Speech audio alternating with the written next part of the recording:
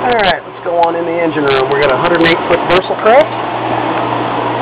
And we've had a failed drive coupling in a BW255ZF transmission. The first thing that had to be done, well, the exhaust system had to be removed. You can see in the other engine the exhaust system consisted of. It's fairly large. It was all done before I got here.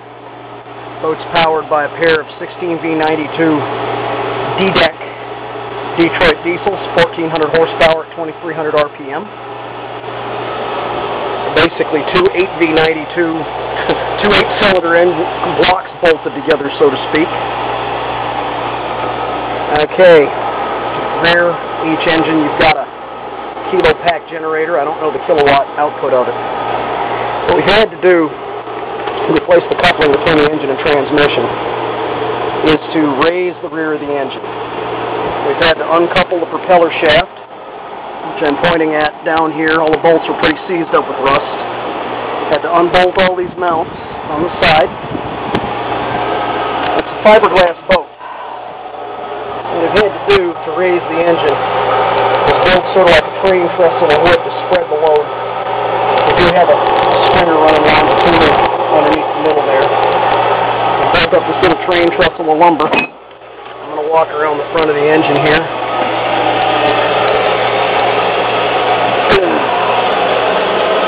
We're looking at all the pumps for the air conditioning system down there. That's part of the stabilizer system that's got that red bucket on it, but from what I understand, one of the fins is ripped off the stabilizer, so they don't work. There's some old uh, rusty bilge piping that's been cut out. Hopefully they've got some alternative system of pumping out the bilges to unbolt these front feet. Those smaller bolts were put through there to keep the engine from sliding back as it went up. You can see a little better on this side by cribbing with wood blocks. A jack. That's a little dark in the video. I got the engine jacked up. Now to separate the transmission, what I've done, we're down here to St. Thomas, U.S. Virgin Islands, so it's a little hard to get parts and stuff, but managed to find a local that had this aluminum I-beam Got this I-beam blocked and strapped to the top of the aft blower on this end. And on that end, there's a shelf that holds some water pumps for the freshwater system for the showers and whatnot.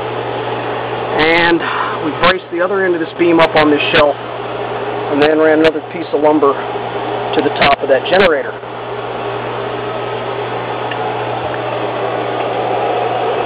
Anyway, we've had to pile all the stuff from this engine on top the other engine. Now, let's walk around to the other side here. The bottle is part of the automatic fire suppression system.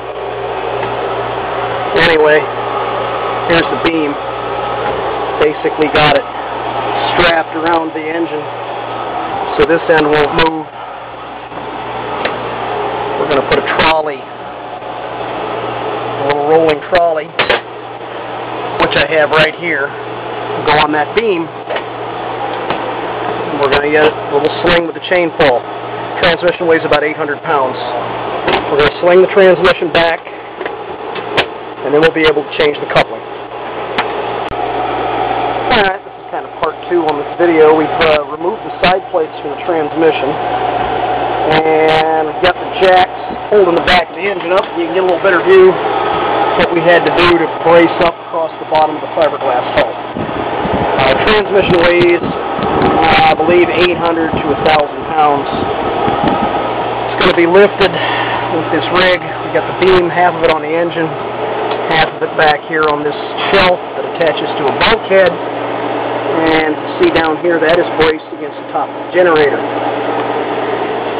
Uh, a little bit of a pause. We've got a one-ton chain hoist, which theoretically is 2,000 pounds. But what we don't like about it is it's got this tiny little, less than a quarter inch screw at the bottom of it. Um, the captain is out right now picking up a larger, a larger screw for it. This kind of gives you detail of the exhaust system on this boat. You can see that's the exhaust discharge underwater. And right there you'll see a valve discharges exhaust out the side when the engine's running at low speeds and idling. Here's, see the size of the exhaust outlet. Uh, there's a little light down there. You can see the beautiful waters of the Caribbean. anyway, I'll get some more shots of this thing when it's hanging in the air. This is Scott, our engineer. Say hi, Scott. now we've installed the new couplings, just bolted it up on the hub, still got one bolt of torque. Torque the bolts to 175 newton meters. Circular pad